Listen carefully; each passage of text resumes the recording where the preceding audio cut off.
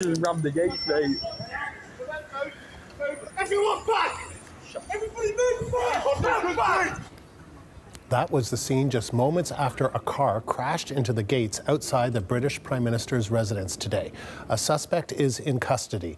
The incident set off a rapid security response, but authorities now say counterterrorism officers are not part of the investigation. The CBC's Abby Dawson reports.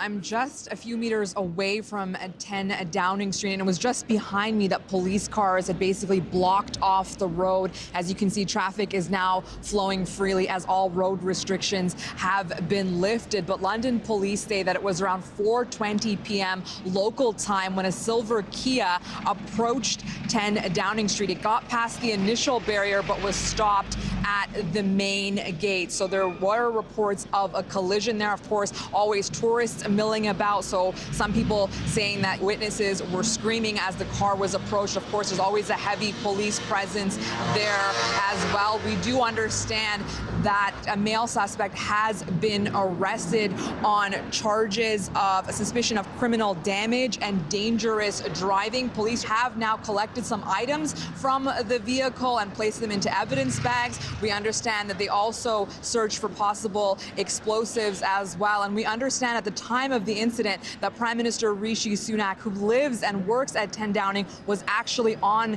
the premises, but that he was taken away at some point. We don't know where he was taken to, and he's no longer there. Staff at 10 Downing at the time were also asked to remain on the premises and not leave. So there was a lockdown of some kind. Police not yet sure about whether it was a deliberate act or whether it was an accident.